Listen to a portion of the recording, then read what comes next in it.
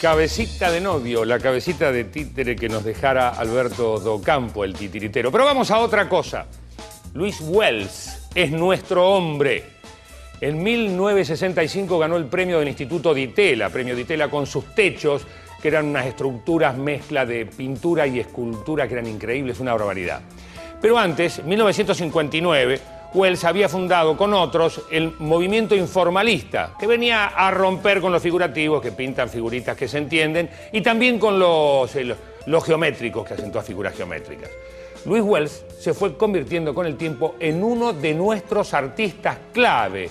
Y hoy, si podemos atravesar los laberínticos ascensores, escaleras, montacargas y pasillos que nos llevan hasta él, vamos a conocer su taller.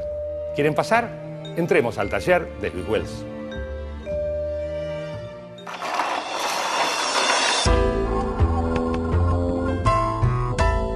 La pintura yo la siento como algo sumamente sensual. Yo creo que la mejor forma de pintar sería con, las manos, ¿no es cierto? Con, los dedos. Y, este, cosa que lo hago muchas veces. No pretendo este, formalizar ningún tipo de propuesta ni nada.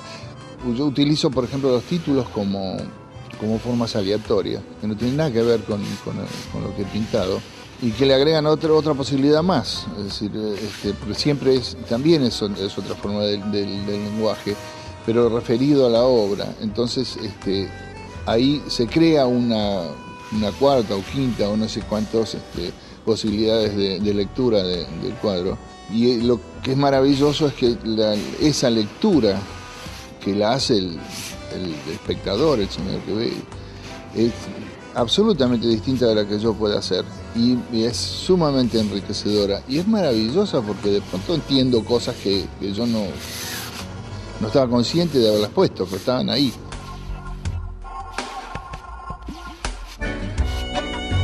O sea que a través de ese, de ese ejercicio lingüístico, digamos, la obra vive, crece, evoluciona, cambia todo el tiempo. Y, además, en la medida en que nacen hermanos de, esa obra, también va cambiando, porque se establecen nuevas relaciones con, otros individuos de su misma especie. Es como, es como un pueblo, a medida que se va poblando, se va enriqueciendo.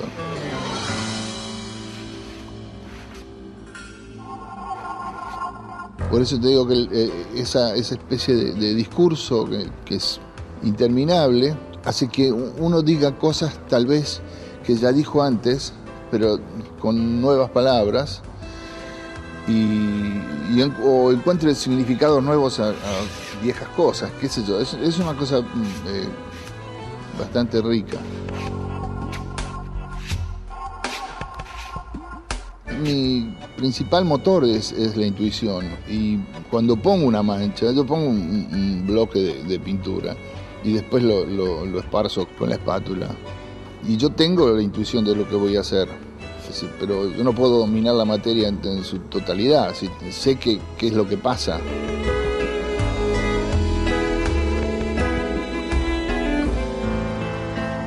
Es un proceso azaroso, de, o sea, de todos modos siempre hay una, una sorpresa en eso y eso es lo maravilloso, porque además esa sorpresa es lo que... Lo que Yo lo marcaría produce eh, el paso siguiente, ¿no? Es decir, este, lo que te lleva a, cambiarlo o a seguirlo o a modificarlo, lo que sea.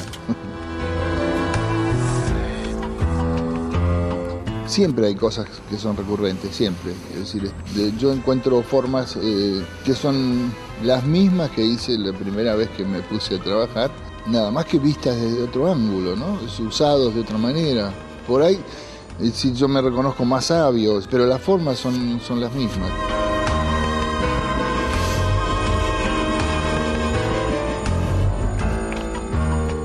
Un cuadro se termina cuando, cuando el espectador lo, lo ve. El cuadro vive en la mirada de los otros.